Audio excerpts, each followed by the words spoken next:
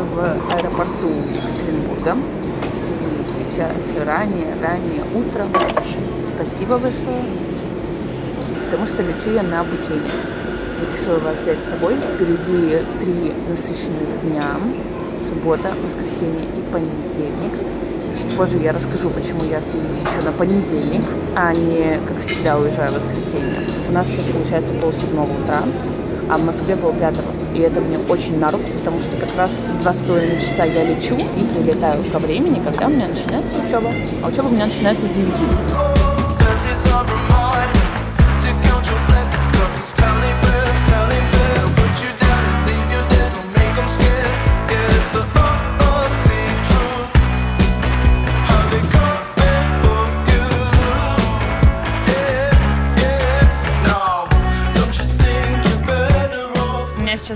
Учебы часик есть, я присела в парке. Такие эмоции непередаваемые. Как будто, знаете, снова на минус пять лет назад, когда я поступала в университет. Только сейчас я понимаю, что я действительно изучаю то, что мне интересно. Потому что после школы это было что-то такое, так, мне надо куда-то поступить, потому что надо, ну, надо же, всем надо, и мне надо. Ни в коем случае не обесцениваю тот опыт. И вернувшись даже в прошлое, была бы у меня машина времени, я поступила бы точно так же. Университет мне дал очень мощное воспитание себя самой, то есть какую-то дисциплину. Я повзрослела очень сильно. Но это не равно тому, что я получила знания, которые мне нужны, мне интересны. И вот это сейчас абсолютно противоположное, когда ты уже в осознанном возрасте действительно выбрал то, что тебе нравится, и углубляешься в эти знания. Я думаю, многие со мной согласятся, что в данный момент времени очень важно себя чувствовать уверенно и независимо, и вкладывать в себя, в свои знания, в обучение. Это, наверное, одно из самых лучших решений. И в тему нашего разговора хочу вас познакомить с онлайн-школой дизайна контента.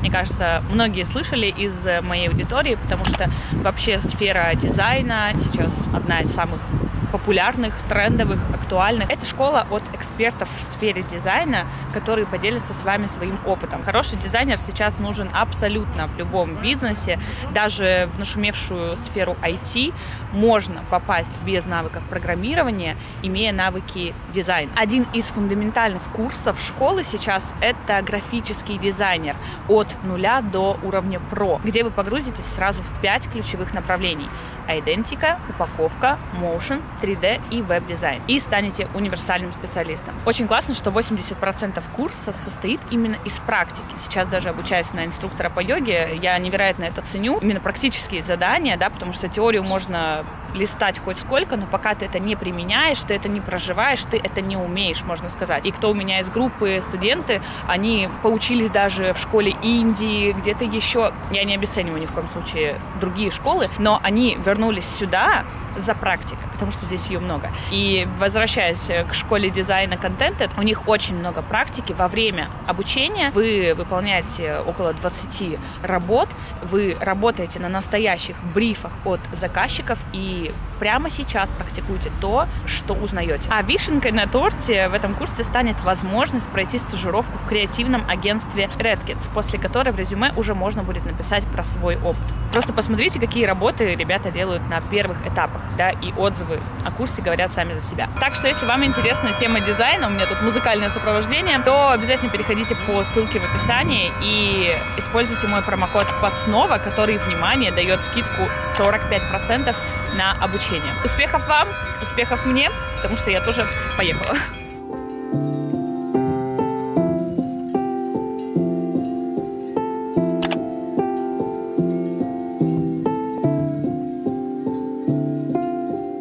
Будущие инструкторы преподаватели мы изучаем йогу с разных плоскостей, учим анатомию, знакомимся с философией и историей йоги, отстраиваем асаны на практике и погружаемся в педагогику. И сказать, что мне дико интересно, это не сказать ничего.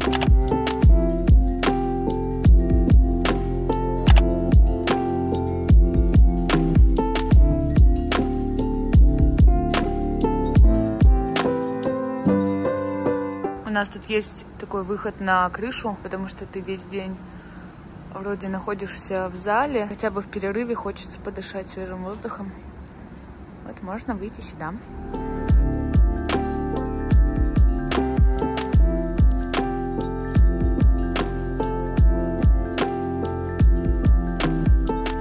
Все, я отучилась на сегодня. Иду встречаться с сестричкой своей. Где-то она здесь на мосту меня должна была ждать. У меня здесь рядышком отель на две ночи. Кто-то там из окошка.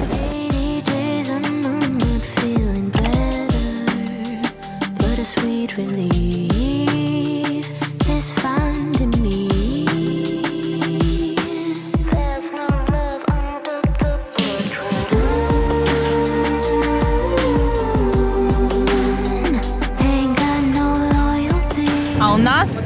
итальяно вечер. Что у тебя есть? У меня есть эм, еда. Болтаем по душам, по душам, как я говорила в детстве. По душам. Я бабушке говорила, пойдем, бабушка, по душам поговорим. Подождите, а все говорят наоборот, ловкость рук, никакого мошенничества. Я а говорю вы не магия. говорите магия, да? Да. Скажите стоп. Стоп. Стоп. Вы взяли эту карту, запомните ее, выберите, да. Скажите стоп еще раз. Стоп. Стоп, положите вот сюда сверху вашу карту. Я не смотрю, еще раз покажу вам. Вы тоже запоминаете. И уберу в любое место, куда вы просто покажете пальчиком. Вот сюда, задвигайте в колоду своей рукой. Чего еще раз? Я думаю про другое. Как же она здесь оказалась? Магия. Ну вот что это за карта? Балет. Валет? Разве? По-моему, это двойка. Один я опять же убираю себе, второй я убираю вам. Сожмите его так же крепко и переверните. Я делаю его движение, да? Щелчок, смотрите. А теперь я дуну просто на свою руку, и мой шарик растворится. Но он же не мог никуда раствориться. Он вот нет, он... лежит, нет? нет? нет, он не в цветке лежит. Он лежит уже у Анастасии. Не может быть. Это тот же лежат. А, вы изначально два положили? Смысле, так я же показывал, один себе убирал. Возьмите, посмотрите, Валет Пик. Валет Пик, да? Очевидно. Нет, я вас обманул, это король крестик, вот Валет Пик. Возьмите, покажите всем, вот Валет Пик. Я наконец-то доползла до кровати. По нашему уральскому времени сейчас уже первый час ночи. Ну, не сказать, что я очень хочу спать. Я скорее хочу с вами поделиться впечатлениями сегодняшнего дня. Вообще, наверняка у вас сейчас будет вполне логичный вопрос. Почему инструктор по йоге? Как я вообще к этому пришла? Что за идея? Такая. Кто-то, кстати, из моих зрительниц прислал мне отрывочек из видео. По-моему, год назад мы с Денисом снимали, может быть, даже раньше. Завтрак свидания у нас с ним было видео, и мы отвечали там на вопросы. И вопрос один из был, кем бы ты себя видел, кем бы ты мог стать, если бы не твое дело сейчас. И тогда я как-то все равно отдаленно немножечко от себя сказала, ну вот если прям представить, ну, может быть, инструктором по йоге. Я даже иногда думала реально, что если, например, мне все взбесит, я не захочу больше вести блог, я отучусь на инструктора йоги и буду собирать классы йоги. То есть уже тогда у меня были вообще за за зачатки какие-то, идеи как таковой. Ну, как минимум, йогой я занимаюсь уже пять лет сама. То есть интерес у меня давно. Вот конкретно это обучение мне далось очень спонтанно. У меня была одна бессонная ночь. У меня бывают такие ночи, когда как будто бы вселенная приоткрывает какую-то дверцу к миллиону идей, и ты такой, надо записывать, я не могу спать, мне просто надо писать, мне надо воображать все это в голове. И это безумно вдохновляющие ночи, после которых, кстати, день нормально абсолютно проходит, то есть это бывает очень редко. И этой ночью, как сейчас помню, может, 10 число, 10 апреля, мне приходит мысль, что я хочу обучиться на инструктора по йоге. Я хочу быть уверенной том, что я делаю конкретно для себя, то есть чтобы это правильно делать, чтобы углубить свою практику, потому что одно дело, когда ты знаешь несколько асан, их чередование, и ты для удобства делаешь их в качестве разминки дома, да, ты знаешь, как построить себе практику, но в этом во всем мало развития, ты как бы делаешь одно и то же, и ты глубоко это все равно не знаешь, потому что йога это далеко не про коврик, это далеко не про асаны, не только про асаны. Из э, восьми ступеней йоги одна из них, всего одна из них, это асана. Плюс, наверняка, не буду врать, меня смутило, мягко сказать, смутило, вот это переменчивое время, которое сейчас происходит. Не то, чтобы я поставила под сомнение вопрос вообще моей онлайн-деятельности, я имею в виду ведение блога. Здесь даже не имеет смысла переживать. Мне это очень нравится, и в какой бы соцсети я бы не представляла себя, я бы туда органично влилась, я так чувствую. Конечно, было тревожно за всякие вот эти звоночки Ютуба, наши запрещенные экстремистской сети и так далее, но нет такого прям страха, что все это закончится, накроется, что, что, что тогда. Но тем не менее, внутри было ощущение, что я что-то хочу оффлайн, потому что весь день проводить у ноута А монтаж, собственно, если вы вдруг не знаете, монтаж происходит долгими часами, особенно если взять, например, влоги. Влог из Мексики я монтировала два месяца. Целый день втыкать в ноут, чтобы однажды выложить и быть довольным. Для меня это кайф. Но когда все-таки есть какой-то баланс с офлайн жизнью тоже, потому что человеку нужен человек. Именно поэтому я хожу на барабаны офлайн, а не как-либо там еще иначе, хотя я не знаю, как вообще возможно онлайн ходить на барабаны. Точно так же я хожу на практики йоги тоже офлайн, и мне захотелось обучаться в среде, которая не онлайн. Мне хотелось окунуться в атмосферу людей людей, которые близки мне по интересам. И я начала искать по России где можно пройти лучшее обучение. Я так и ввела, если честно, лучшее обучение на инструктора по йоге в России. И, конечно, я не могу сказать, что место, которое я выбрала, лучшее. И мне кажется, так нельзя вообще сказать ни про какое-то конкретное место, это будет неправильно, потому что можно везде найти что-то свое. Но в общем и целом я точно для себя поняла этой ночью, что это не Екатеринбург. Далеко не Екатеринбург. И в любом случае за лучшим обучением мне надо будет летать в Москву. И так получилось, что я нашла обучение обучение заочного формата, это когда ты летаешь только по выходным. Поговорила с Денисом, а, очень рада и благодарна ему за такую адекватную реакцию, но потому что все-таки каждые выходные не проводить время с семьей, а для нас это самое семейное время выходные, разумеется. Сегодня было очень интересное обучение, в принципе, как и все дни до этого. Я безумно рада погружаться и потом иметь возможность делиться с моей онлайн-семьей такой частью своей жизни. Скорее всего, это будут какие-то записанные мною практики в будущем утренняя практика там для разогрева, для новичков, силовая практика, динамическая практика. Я не знаю, что, как, во что у меня это выльется вообще, но чувствуя по запросу от вас, когда я делюсь в Телеграме, я вижу от вас большой интерес, и мне это очень приятно. А завтра прилетает Люба, моя интернет-помощница, можно сказать, онлайн-помощница, с которой мы познакомились пять лет назад. Она была со мной с самых-самых-самых низов. Не знаю, у меня было 15-20 тысяч подписчиков, когда она мне впервые написала, говорит, Саша, давай я буду тебе помогать вести твою группу ВКонтакте. И с тех пор и наши отношения очень укрепились, мы сблизились, подружились, и она, собственно, поменяла свою должность, если так можно сказать, и стала моей просто вот помощницей, онлайн-помощницей. Она из Минска, из Беларуси. И она прилетит, зная, что я прилетаю в Москву, она прилетит сюда всего на сутки повидаться со мной. Увидимся завтра.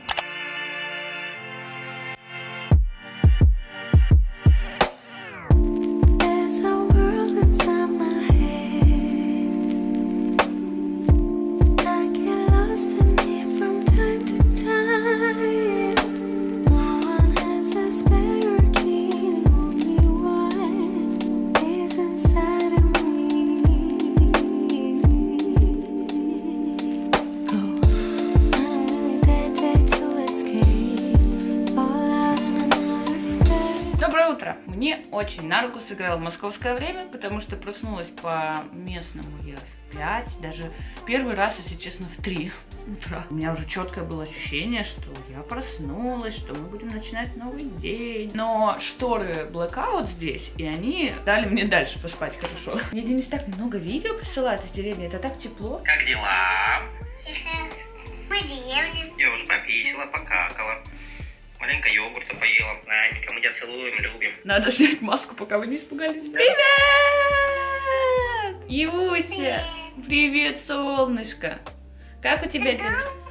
Нет, зайка, я сейчас в Москве. Мяу.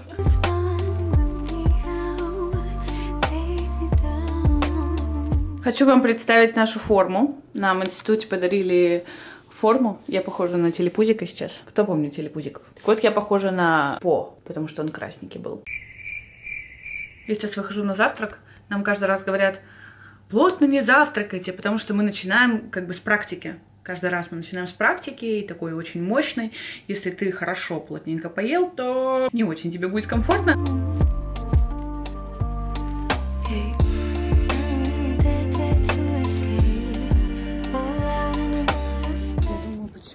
Тихо? Почему вообще ни человека, никого нет? Воскресенье 7 утра.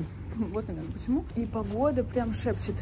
Я смотрела по прогнозу, должен быть дождь, ливень такой и сегодня, и завтра. Как раз наши дни, когда мы с Любой. Но пока все прекрасно.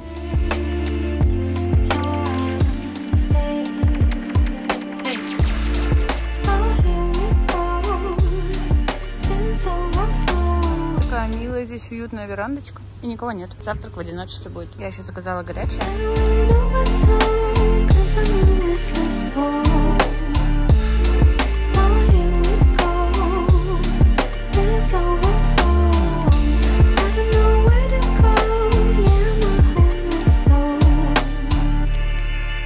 I don't really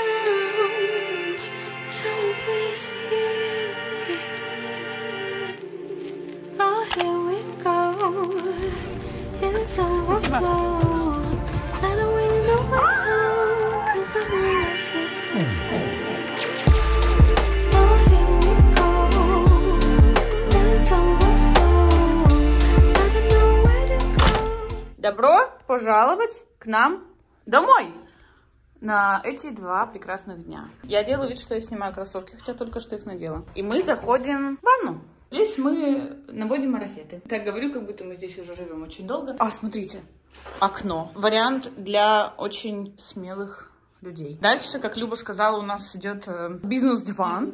Кожаный. Смотрите, какая классная штука. Вчера Настя мне подарила. Точнее, это не мне, это Еве. Я вам как-то рассказывала уже, что у нас э, система мотивации чистки зубов с микробами как раз-таки. Денис их сам распечатывал. Ева потом их вырезала. И это была такая на коленках история. Мы не знали, что такое продается реально. То есть здесь есть зубки, которые ты наклеиваешь как наклейку на понедельник, вторник, среду, четверг. И награда за неделю. Обалдеть. Моя кровать, кровать Любы.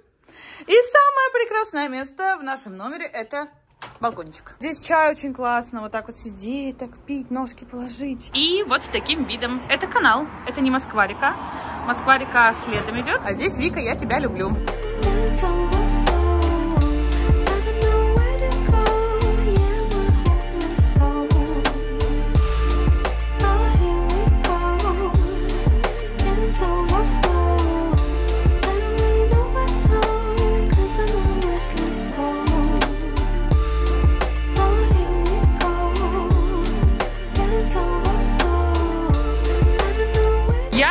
Я не блогер, потому что забыла о существовании камеры на этот вечер. Мы завтра запишем адекватное видео. Сейчас мы просто гуляем. И Люба мне сказала, давай я тебя запишу, как ты красиво идешь здесь. Поэтому смотрите кадр, как я красиво иду. Я попала? Да. У нас подарунки. Как что это значит? Подарки? Да. Журавинка, цукерки. Да, Цукерки это конфеты. цукерки. Цукерки. Да. Солодкие поцелунки белорусской природы. Сладкий поцелуй белорусской природы. Да, да. Как мило. Тебя не видно, посмотри, А вот подарок. еще вот это, вот это вот еще поч- почитай и попробуй перевести. А, микроэлементы калий, йод, магний, фосфор, железо, натуральный ласунок, выклю- Ласунок. ласунок выключной вартасцы. Господи боже! Натуральный Да, ласунок, да? да. Это как будто бы как сладость. Шоколад. Нет, это как сладость, но синоним. А, вкусняшка. Ну да. Да? Мгм. Вкусность, типа, да, какая-то? Да, да, Выключной. Без. Исключенный. Нет, исключительный. Исключительного качества. Да. Вар- Да, варасцы. да. Вартасцы. Вартости. Вкусно? Я рада. Как ты думаешь, что это? Банка с вареньем. Это в стеклянной емкости, но это Мгм. не банка с вареньем. Конфетки. М-м. Такое для уюта. Мед. Свеча. Да. Да? Да. Я ее сделала на мастер-классе. Она с уникальным ароматом. А здесь еще есть, короче, подставочка, но это не я ее делала. Она Ах. просто красивая. Как красиво. Она будет трещать, потому что у нее деревянный фитиль. О, как это мило. Она такая... Она сама ее делала? Очень. Да, но можно прийти на мастер-классе и сделать. Любая любовь. Да. И последний подарок. А ты его знаешь, у меня такое, так, точно такое же есть. Я тебе показывала на видео, когда мы с тобой звонили, созванивались. Это аксессуар. Сережка. Да, сережка. Сережки? Да. Ой, Помнишь, тебе рассказывала, что они как типа как подборка меняются? Ой, как красиво. Я такое очень люблю. Золото и жемчуг. Ну, господи, ну что ты не знаешь, что ли? Соколова. А у нас Соколов? У нас романтика балконная. Белорусские конфетки.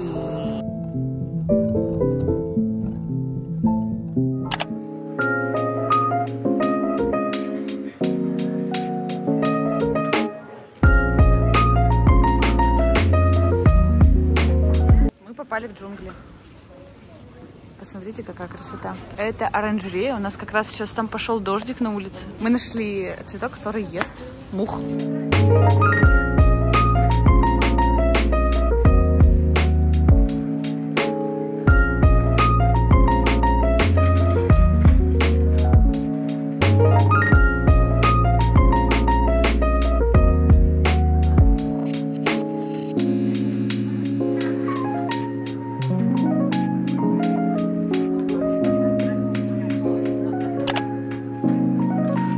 должна показать эту конструкцию. Стул, стол перевернутый, и между ножи каким-то образом фиксируется стекло. На это стекло я сейчас поставлю телефон, обопру его на бутылку, и мы будем снимать. 115 комментариев. Какие впечатления о Саше в жизни и в интернете? Это же так же потом я о тебе. Потому что представьте, у меня вообще впервые в жизни, что ты сначала познакомился с человеком в онлайне, общался и работал с ним на протяжении пяти лет, Потом Потом- такой коннект, Да. и было комфортно всем. а потом ты встречаешься. То есть наоб- наоборот все как бы, да, впервые. Ну, мне кажется, я не заметила какой-то там разницы. Да? Потому что у нас были с тобой видеозвонки. Необычно слышать твой голос вживую, не м, в аудиосообщении. Что, ты такая не поставишь на 2х такая, ну сейчас побалаболит. Но у меня абсолютно такие же. У нас вроде как рабочие отношения, но при этом мы все равно типа интересовались всегда Да, подробностями да, да, жизни. Наверное, от этого я тоже привыкла к твоему тембру, к твоему голосу, к, к твоей подаче. И в целом вообще никакой разницы нет. С чего вообще началось наше знакомство? Почему ты вообще написала? Но ты в своем каком-то видео сообщила о том, что ты хочешь войти в группу, да. Да, группу ВКонтакте. Если честно, я не сильно об этом думала. Да. И как-то просто написала. Мне нужен был человек, я поняла, что я уже сама не успеваю репостить что-то, да, то есть видео Да. на YouTube выходят, плюс какие-то посты. У меня, честно скажу, был вообще шок в тот момент. Это была моя аудитория 15 тысяч подписчиков. Что кто-то готов добровольно безоплатно делать работу определенно. Все равно это э, публикация постов, там, написание их, какие-то фотографии вместе, музыка, что, ну, в общем, там много взаимодействия Да. было с аудиторией. Через год такой работы, там канал вырос значительно, Мгм. прям был вот как раз это тот активный год, когда канал сильно подрос. А у меня, наоборот, возникла потребность в помощнице именно онлайн по проектам, по рекламным сообщениям, потому что когда к тебе приходит там куча запросов за день рекламных, первые два там, не знаю, ты такой, боже мой, как вот это ответить, как это, и ко всем ты подходишь как-то креативно, что-то такое предлагаешь, потом у тебя просто от количества, конечно, тебе нужен уже отсев, автоматические сообщения какие-то, ну, в общем, человек. Я предложила Любе такую работу. И это уже, конечно, с оплачиванием, со всем. расслабленная, как будто ты с мамой разговариваешь. Руки трясутся. Тяжело ли совмещать дружбу и работу? О, прикольно. Наверное, если бы мы прям были оффлайн подругами, прям, знаешь, вот такие, что каждый день друг другу Мгм. ходим домой, там у нас все-все-все мы прям ежедневно обсуждаем, и мы были изначально подругами, а потом работа, было бы очень Да. сложно. Я вообще, если честно, не поддерживаю ситуацию, где в работе у тебя есть друзья, родственники, это вот сразу либо то портится, либо другое. А у нас, получается, я бы так сказала, теплые отношения на фоне работы, да? Но при этом, когда была возможность встретиться, я не знаю, для нас это объект такой, как будто из фильма вот этот человек, он где-то находится, я не знаю, вот где-то вот там. Мне кажется, это произошло именно потому, что мы легкие на подъем. Ну да, наверное. Типа, знаешь, не создаем каких-то там сложностей. Ну Можно да. же было сказать, у меня куча дел. Какие Ну, вообще-то человек из другой страны прилетел. Типа, На один день. Ну, знаешь, и ты дольше летел, чем я. Да-да-да, это так смешно. У Любы билет дешевле стоит. Она летела меньше по длительности, чем я. Тяжело ли работать с таким крупным блогером? Да, Я, тяжело. я думала, ты спросишь этот А. или нет. Ну, хорошо, отвечай, давай, давай. Мне кажется, мы когда начали работать, ты не была таким крупным блогером. Ну, Да, я не кажется, особо в этом это разбиралась, да. никакого там опыта у меня не было. Я тебе вчера говорила, что у меня не было такого. Э, Фанатизм. Да, Да. никогда ни с какими людьми абсолютно. Были ли какие-то ощущения, что никогда ни у кого не задавала такой вопрос реально? Что у меня, например, звезда, или что я за... Если бы тебя это было, я бы с собой не общалась. А у меня был фильтр. Ну, мне кажется, это порождает какой-то негатив. Ну, сто процентов. Строгая ли Александра в работе? Вообще-то она дева, это раз. А, это что-то значит? Конечно. Дева не особенная, нет. Ну, кто шарит в этом, они... Ну-ка, объясни, объясни, объясни, говори, скажи. Они такие перфекционисты, им нужно, чтобы было все по полочкам. Но мне кажется, это порождает какую-то ответственность, наверное. Осознанность в том, что ты делаешь для чего ты это делаешь, да? Если бы вы болтали болтали, то не было бы такого результата. Саша, не было ли страшно доверить такую ответственную работу человеку, которого никогда воочию не видела? И здесь у меня, наоборот, ответ больше к тому, что является альтернативой такого вот, э, ну, помощника. Теплоход, на который мы хотели пойти, он идет по этому каналу. тоже. Обычно крупным блогерам начинают писать агентства, самые разные. Типа, давайте мы вас возьмем под свое крыло. Типа, продюсируют блогера. Он даже действительно может ему чем-то помогать в плане съемки, предложений, бла-бла-бла-бла-бла. Но для меня это сразу же было моментом ограничения. Не знаю, такой я человек, что когда я знаю, что у меня есть какой-то, условно говоря, важный человек, который мне диктует, какие видео я должна снимать, какая реклама должна, не должна выходить. Наверное, блогерство для меня тем и ценно, что я выбираю, что и когда делать сама. И от этого, кстати, мне хочется быть еще более системной. Поэтому мне хотелось простого, вот реально простого человека. Смотри, кто написал. Я помню Любу, она же вела твою страничку ВКонтакте. Я очень любила и участвовала в конкурсах, делала коллажи, видеоклипы, даже на Хэллоуин макияж делала. девочку для не знаешь, зовут? Елена. Очень рада, что вы встретились. Представляешь, кто-то так долго. Блин, это так мило. Задумалась ли Люба о том, чтобы начать вести свой канал? Ой, Нет. это интересно. Никогда. Ты когда-нибудь хотела стать блогером? Нет. Это вообще для тебя чуждо? А, ну знаешь, у меня была такая идея, недавно она возникла, Ага. что если мне придется куда-то уехать, и я там буду одна, я буду записывать свою жизнь и разговаривать с телефоном, как мы сейчас Ага, идем. ну вот практикуем, собственно, давай это. И лучше, чтобы мне не так скучно было. А потом с этими видео Мне кажется, это крутая типа, Э, тема, всем понравится смотреть. Просто чтобы с кем-то познакомиться, может быть, там, например, в этом городе кто-то такой тоже есть. Хочешь, я тебе покажу йоговское дыхание, которое успокаивает?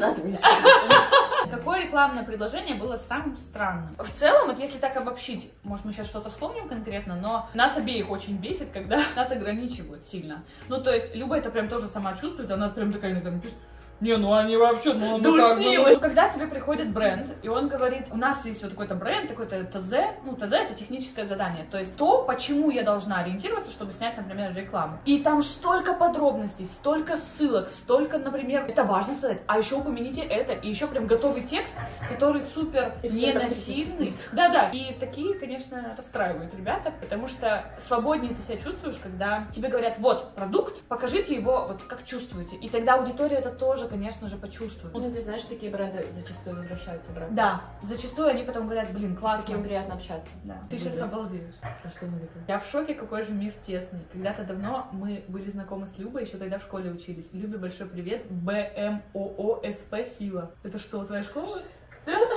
Это твоя школа? Кто это написал? Дарья. Да, я ее знаю. Мы с ней были на слете юных спасателей пожарных. Ну, немного о Любе.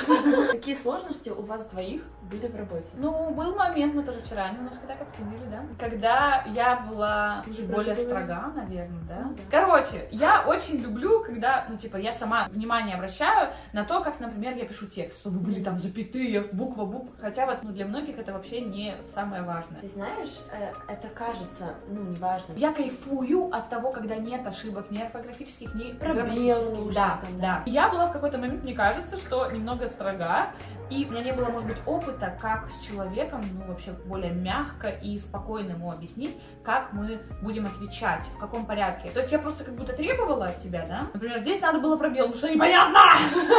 Нет, понимаешь, вот ты говоришь, ты была строга.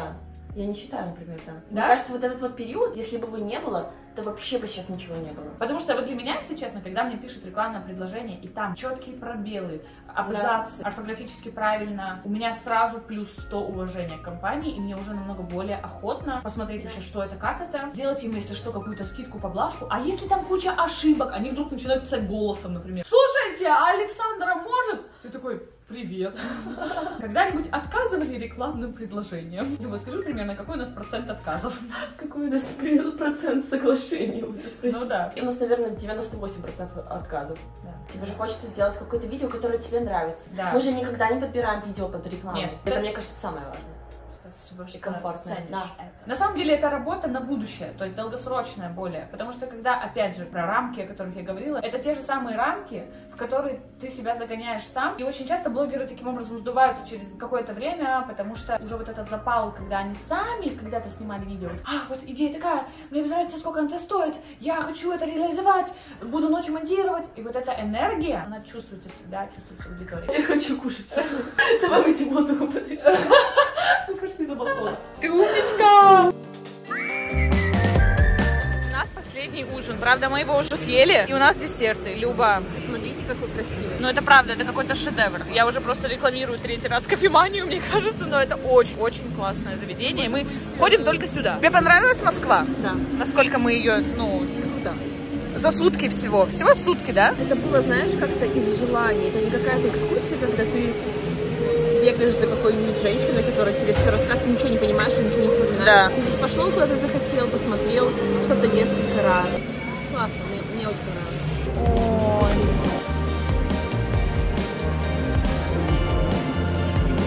Это называется sharing. Класс, я такой видеорежиссер. Про лето. Ой, чай. Пробовала? Офигенно.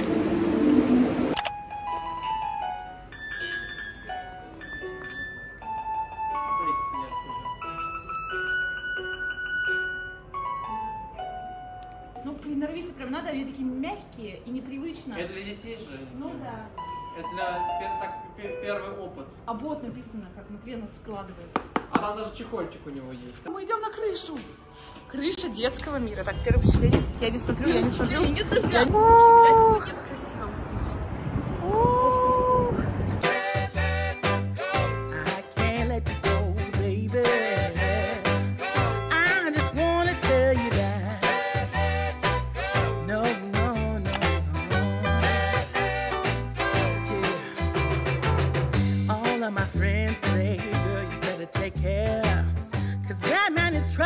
You best beware. And though deep down, I know I might be headed for teardrops. Now that you got me started, I just can't stop. No, no. Cause I love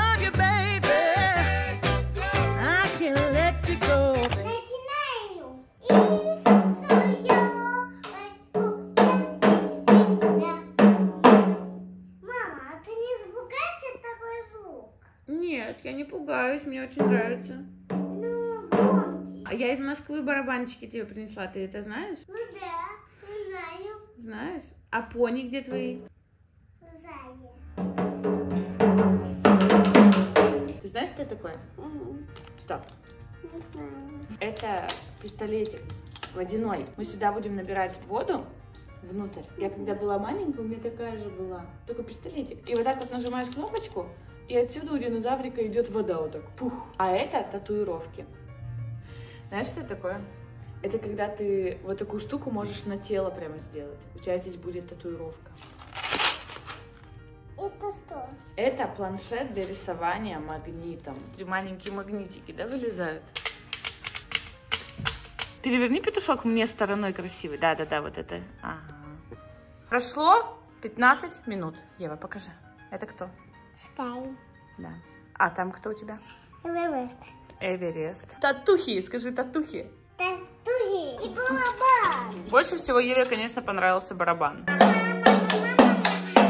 Ой, кстати, сзади тебя плакат. Я сейчас вместе с вами в Инстаграме разбираю разные асаны. И если мы их разобрали, их вот так вот нужно монеткой делать цветными. Сейчас они все серенькие, а потом становятся цветными. Ну все, девочка, скажем всем пока. Пока.